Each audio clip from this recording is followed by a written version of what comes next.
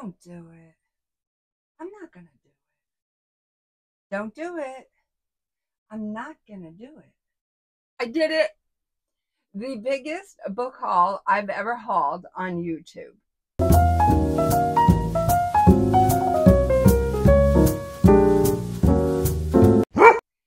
Thank you for joining me. My name is Floss. This is the Grape Jelly Library, and I love to talk about books, and I love to buy books, and I love all things books because I am bookish. I cannot thank you enough for coming to spend this time with me. I know your time is very, very valuable, and I so appreciate that you're giving up a smidge of it to spend with me. I cannot tell you how grateful I am for that. Okay, so I don't even know how many books that I have, but I have the books. So I'm probably not going to tell you what these books are about, or we're going to be here until next Tuesday. But I will go through them. And if there's a book that catches your eye and you want me to further elaborate on, just comment below and I will gladly give you the gist of that book. All right, so let's start. Oh my goodness, I am so excited. I said to myself, Floss, get reading, get reading. Stop, stop dilly dallying. I've been closing the pool up. I've been eating baba ganoush. I've been, I've been just doing things. But I said, get reading because I just came from Barnes and Nobles now, and they have so many fabulous books out there. I just want them all, and I just want to read them all. But alas, I can't. I have to calm down, calm myself down because you know what? I get I, I come to life when I go in a bookstore, especially when there's so many great choices out there. And now happens to be a great time to shop your local Barnes and Nobles. Oh my God, the possibilities are endless right now. Incidentally, yes, I couldn't get that out. My apologies it was jam packed in there. I couldn't believe all the people were that were in there. It was like a hopping place. I love to see it. Okay, let's get into these books. All right, so let me do that. Okay, now, A Dreadful Splendor, B.R. Myers. Be careful what you conjure. Oh gosh, I just have to say a little bit of this. In Victorian London, Genevieve Timmins poses as a spiritualist to swindle wealthy mourners until one misstep lands her in a jail cell awaiting the noose. Okay, I'm going to stop right there. The next book I chose, Erasure. I chose this because it seems very interesting. The Thelonious Monk Ellison's writing career has bottomed out. His latest manuscript has been rejected by 17 publishers um, blah, blah, blah, blah, blah. His aged mother is fast succumbing to Alzheimer's, and he still grapples with the reverberations of his father's suicide seven years before. All right. Oh my goodness. The most.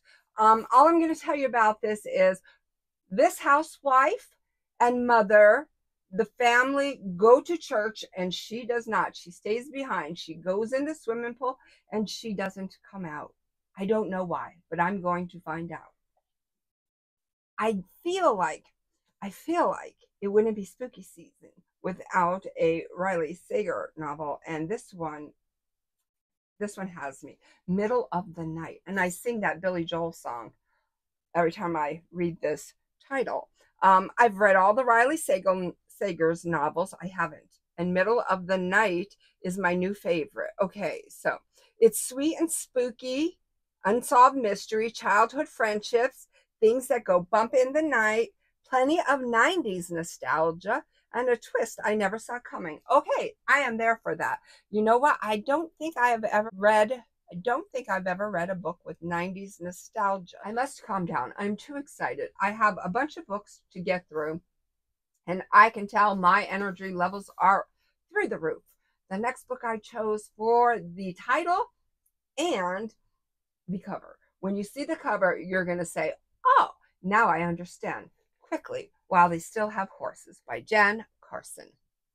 All right, so um, Story of a prize winning author, Jan Carson's collections, surreal and darkly comic look at life in post conflict Northern Ireland, from first loves to strange relationships, thrills and terrors, growing up to the dangers and challenges of parenthood.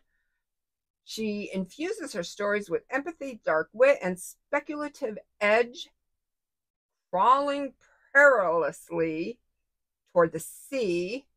Oh, their baby, their baby is crawling perilous, perilously towards the sea. Oh my goodness. In Granso, the ghost of a car's previous owner haunts the back seat. The troubling water, a rumor of miraculous healing creates chaos at a public swimming pool. Hmm. Hmm.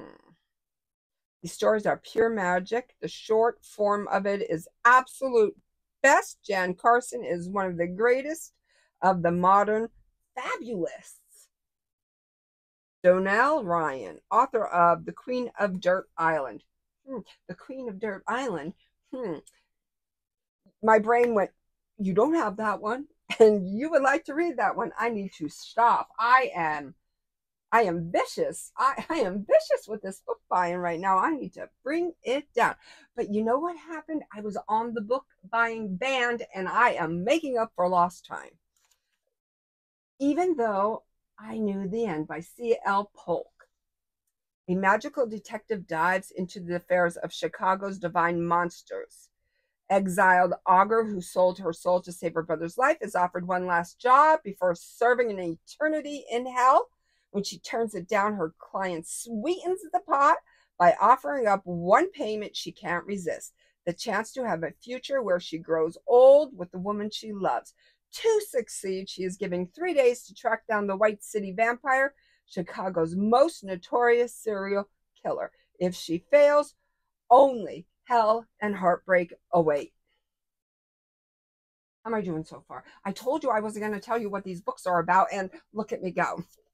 Strange Sally Diamond by Liz Nugent.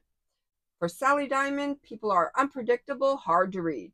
She's always preferred routines to spontaneity and silence to noise. Suddenly, Sally herself is in the spotlight. People everywhere are digging into her past. Sally is learning things about herself and her family that she never knew before. Stranger sends her family a teddy bear in the mail, but why does he call her Mary? I'll leave it there. This one is gorge, gorge, gorge. It reminds me of chocolate chip mint ice cream, and the purple accents finishes it off exquisitely. Love it, love it, love it, love it. Masters of Death by Olivie Blake. Viola Merrick, she's struggling. She's a real estate agent and a vampire. Her biggest problem currently is the house she needs to sell is haunted.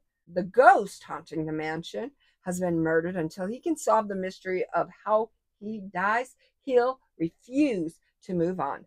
Fox D'Mora is a medium, and though he is also most definitely a shameless fraud, he is entirely without his uses, seeing as he's actually the godson of death. Don't tire out on me now. We still have a bunch more to go. The Friday Afternoon Club by Griffin Dunne. Oh my goodness. When I read this, I just had to. I had to. At eight, Sean Connery saved him from drowning. At 13, desperate to hook up with Janis Joplin, he attended his Aunt Joan Didion and Uncle John Gregory Dunne's legendary LA launch party for Tom Wolfe's The Electric Kool Aid Acid Test. At 16, he got kicked out of boarding school, ending his institutional education for good. In his early 20s, he shared an apartment in Manhattan's hotel with his best friend and soulmate, Carrie Fisher, while she was filming some sci fi movie called Star Wars. Can you believe it? Star Wars. And he was a struggling actor working as a popcorn concessionaire at Radio City Music Hall. A few years later, he produced and starred in the now iconic film After Hours, directed by Martin Scorsese. In the midst of it all, Griffin's 22 year old sister Dominique, a rising star in Hollywood, was brutally strangled to death by her ex boyfriend, leading to one of the most infamous public trials of the 80s. Oh my goodness, this book is just going to be a whirlwind of excitement. The next book I chose because I like to support local independent authors, and we had one in the house the day that I attended. Um, Barnes and Nobles. You could buy book one, book two, or like I did, book one and two. This is Hope by Jean Estelle. This is a dystopian um, story, and I'm not good with dystopia. I mean, I shouldn't say I'm not good with it. I do read it. I read it sparsely, sparingly, and sporadically. But um, if you need support, I'm your gal. I'm going to try and support everybody I can in whatever way I can. So, yeah, I'm going to explore this world of dystopia. So, I asked her what this was about. She briefly told me nuclear war, um, a community was discovered living underground. Within that community, there was some things that were going on that were kind of hard hard to get past um hard to you know when you put a bunch of people together and you have all these different personalities going and sometimes it's not a good thing sometimes it's a lovely thing and sometimes not so. But um i'm going to put all of her information in my description so be sure to check it out and you know, check out her other social media accounts and maybe help support her as well. You know, when people work this hard to, you know, get as far as putting a book out, I think we need to support them, especially if we're book lovers, especially. All right, what do we have here? Oh, okay. Dead Weight Essays on Hunger and Harm by Emmeline Clein. Now, I'm choosing to read this because every now and again i don't know why i just do. I i read books on health and that is a vast array of subject matters. So i picked this one up. Um In Deadweight, Emmeline Clein recounts her struggle with disordered eating alongside the stories of other women historical figures, celebrities, girls she's known and loved. The stories of their own sickness, rock collections of interview subjects, and dispatches from social media rabbit holes. She challenges the stereotypes and renders statistics and science deeply personal and urgent. Um, Dead Weight makes the case that we are faced with a culture of suppression self denial, and self harm, an insidious, pervasive, and dangerous American cult of femininity rooted in racism and misogyny. Drawing on a kaleidoscopic array of sources, Clein calls for a feminism that doesn't demand women shrink their bodies to increase their worth, urging radical acceptance of all our appetites instead for food, connection, and love. I am telling you what, I am loving the direction that women and the appearance of their bodies are going. Long gone are the 70s where women would sur- survive on Dexatrim, Ayds, um, tab, and hard boiled eggs. You know, welcome to the world. And it's sad that it took this long for women to be able to accept themselves for however uh, shape, whatever shape or form their body takes on, and accept it and love it and be one with it and not give it a second thought what anybody else thinks about them. I am here for that. This next book I chose because it just seems brilliant to me. Lulu Dean's Little Library of Banned Books by Kristen Miller. Now, here's what I'm going to tell you. We have a lady and she sets up a little library. I believe it's in her yard, her front yard. I'm not sure. Her front yard will go with that. Okay, so it's wholesome, Richie Cunningham, innocent as can be books, right? Well, some prankster in the neighborhood replaces the book, the wholesome book, with a banned book, a Judy Blume book, if you will, and places the wholesome cover on the banned book. And before you know it, chaos and amuck ensues, and we're off to the races with this story. I cannot wait to read this. All right. Oh my goodness. Should I pull the plug? You know what? I'm going to. No, no. I was to pull the plug and continue on another video, but I'm not. Those of you who are dusting or rearranging or organizing and you want to hear me blah, blah, blah, blah, blah. I'm going to stick it out. This is going to be a long video, but you know what? I'm, I'm to do it. Quitters don't win and winners don't quit. We're here for it. Let me make some room. Okay, we're going to the bag of books, the big bag of books. Um, incidentally, I bought these books over three shopping trips and I haven't had the time to get to these. Um, this bag of books is what I just purchased today at my local Barnes and Noble.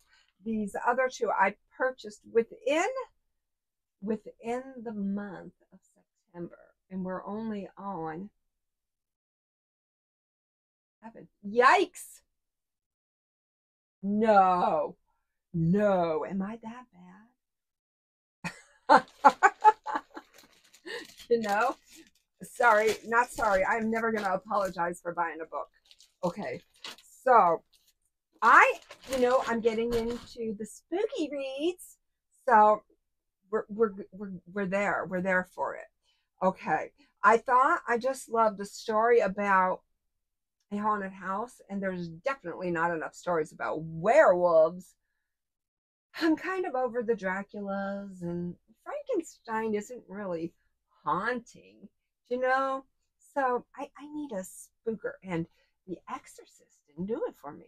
And nor did, I can never say this one, Amityville Horror. There. That didn't do for me either. I don't know. I chose Goblin. It's a novel in six novellas. Every small town has its ways. Josh Malerman. I am new to him. This is a must read horror. I find myself getting more and more into the horror reads, and I am telling you, I'm a nonfiction reader, I'm a memoir reader, and I am a historical fiction reader. I'm not a horror reader, um, but I will dabble in it come the season. I'm a true crime reader. Who am I ever a true crime reader? But um, I'm getting more and more into these horror novels. I, I like ever since I read The Exorcist, I found it awful for me to say. I found it comical. Ooh, I probably shouldn't say that. But anyways, Goblin. This is what I chose. Goblin seems like any other ordinary small town, but with master storyteller Josh Malerman as your tour guide you'll discover the secrets that hide behind its closed doors. From a man willing to prove his love piece by piece to a man whose fear threatens to drive him to madness. From a big game hunter undertaking the greatest hunt of his life to an aspiring magician who wishes to learn from the greatest in the world and gets more than he bargained for. A zookeeper who feels a mysterious kinship with the animals in his care to a maze so elaborate no one has ever solved it. These six novellas tell the story of a place where the rain is always falling, nighttime is always near, and your darkest fears and desires await. Welcome to Goblin. I feel like I should have inserted a diabolical laugh.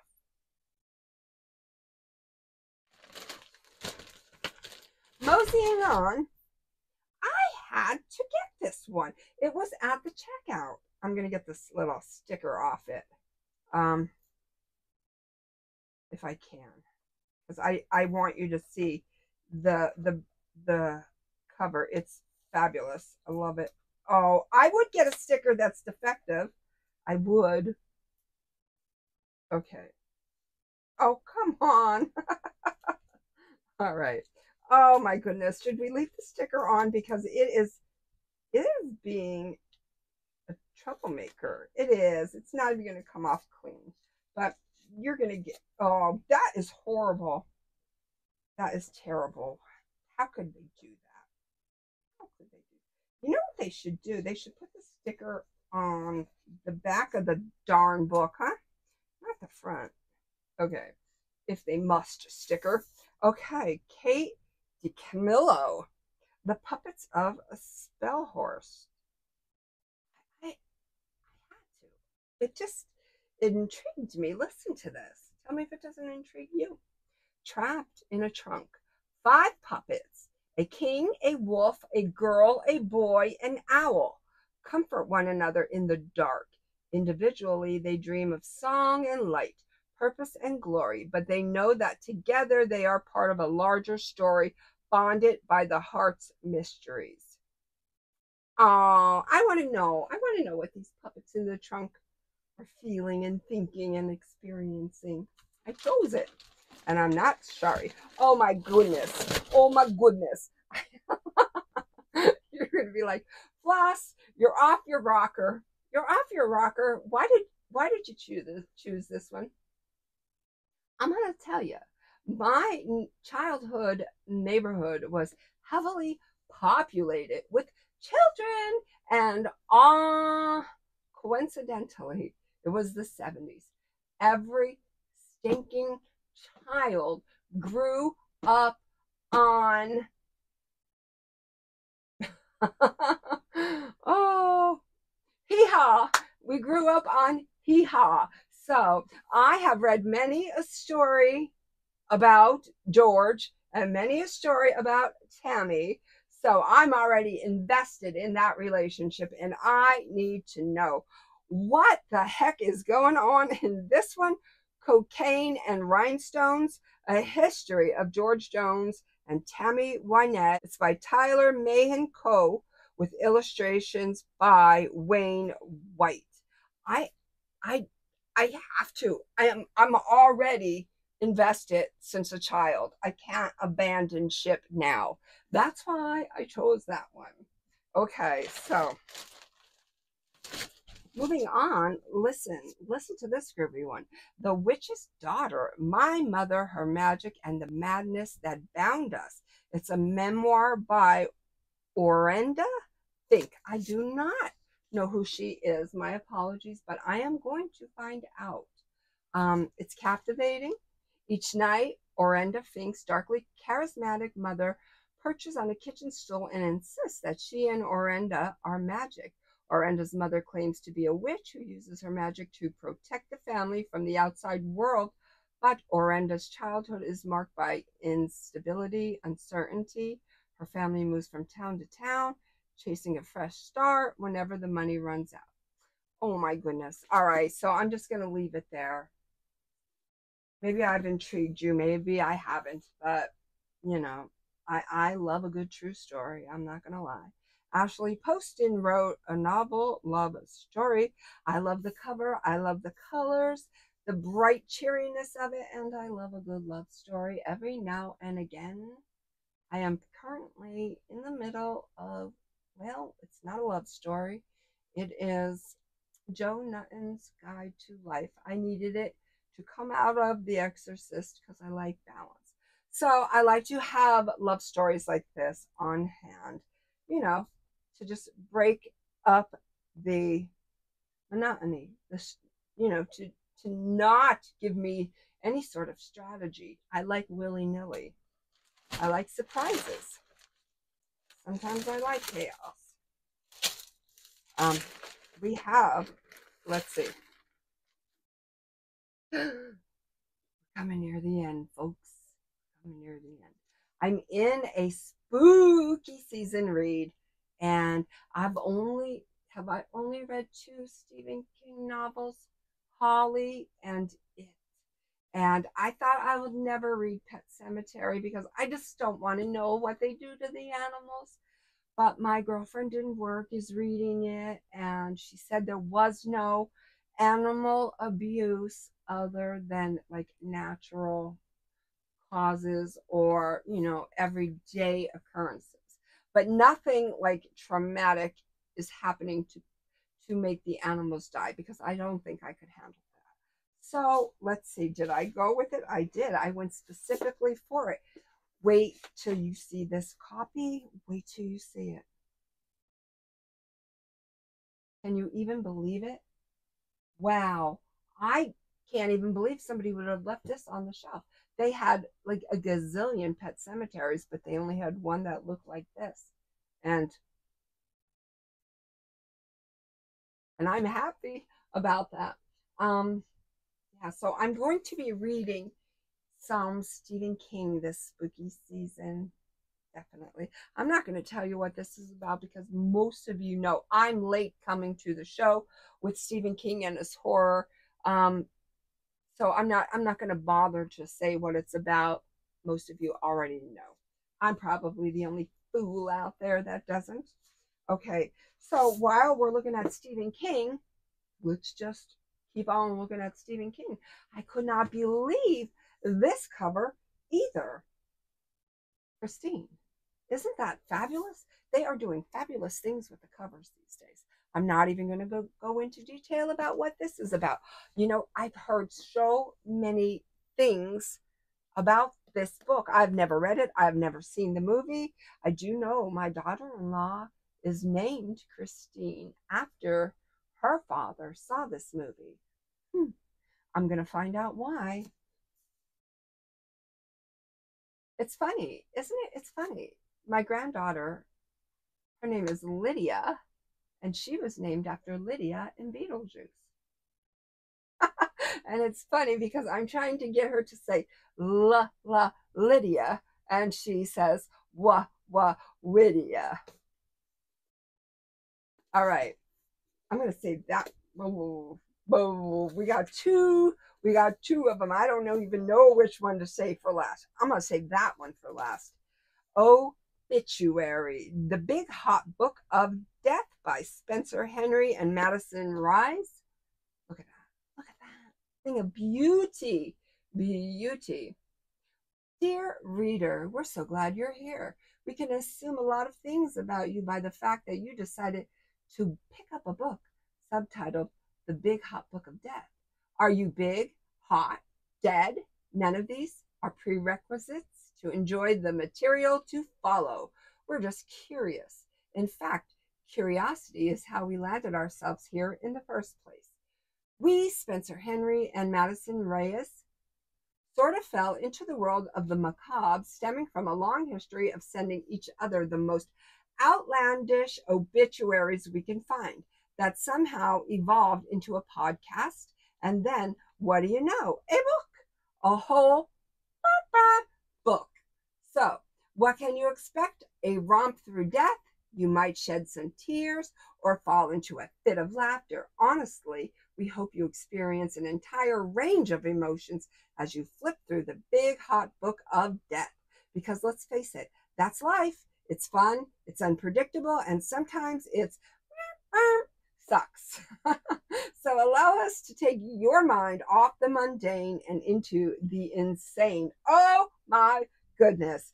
Take me there. Take me there. And the next one, look at this fabulous, fabulous cover.